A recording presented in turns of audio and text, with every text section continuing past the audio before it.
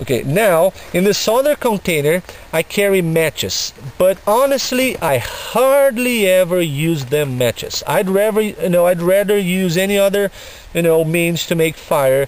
But if I don't have my fire steel, if I don't have you know a lighter, if I don't have anything, so I will use my matches. Oh, by the way, you will not see my fire steel in the survival kit because I don't carry my fire steel in my survival kit.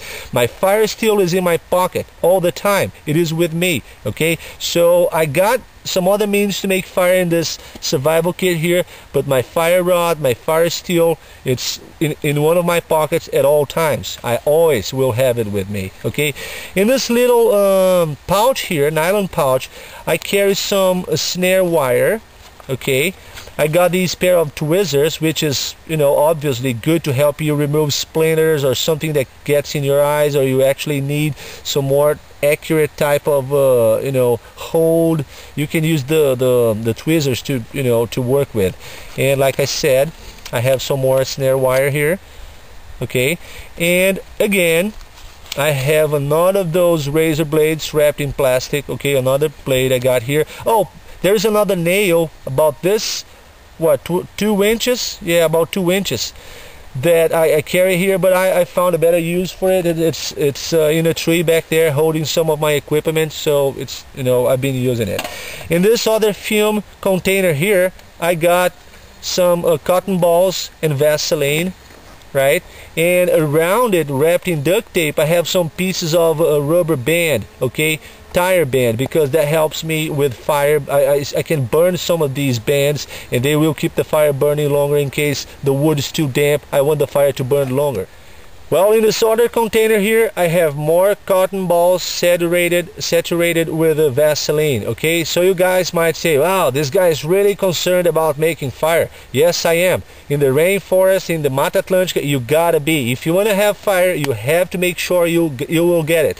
And none of this these stuff here I use to make fire is too much okay? This is what I want. This is what I need to get my fire started here especially when it's raining. When it's raining here it's a misery. You'll have a real hard time time trying to make your fire. You really want to make sure you got everything you need to get your fire going.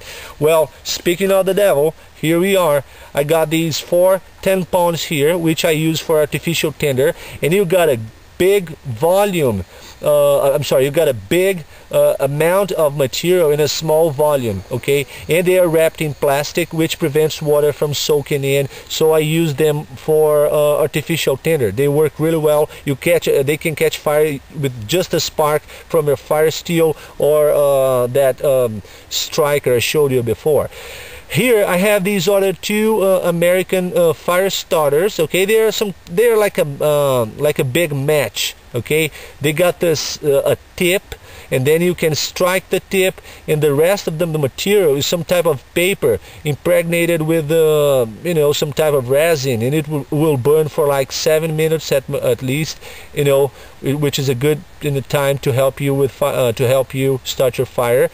And I have some more rubber bands you know um, uh, wrapped around them plus two broken pieces of candle. It is all to help me start my fires right?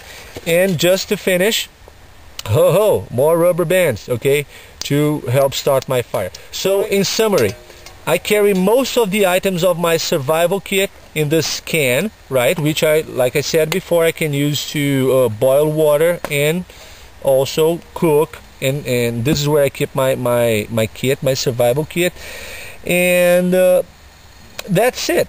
You know I might you know add some new stuff to my kit. I might take off some some you know one or two pieces but this is what I actually been carrying with me right now. Uh, I also hang a whistle to my neck okay? So if I feel like if I ever got to be rescued or something I can blow that whistle too that that's good for signaling. And to be honest with you, I have started carrying my first aid kit inside my survival kit just recently. Because so far I've been I had been carrying my first aid kit in my backpack and or some other place but I figured it wouldn't be a good idea in case I lost my backpack. I know that my survival kit is usually with me so I wanted my first aid kit to be inside my survival kit and that's what I've been carrying uh, currently. I hope you, you know have enjoyed it. If you want to add any comments ask any questions I would be more than glad to talk to you guys and this was Giuliano Toniolo from Brazil here. See you next time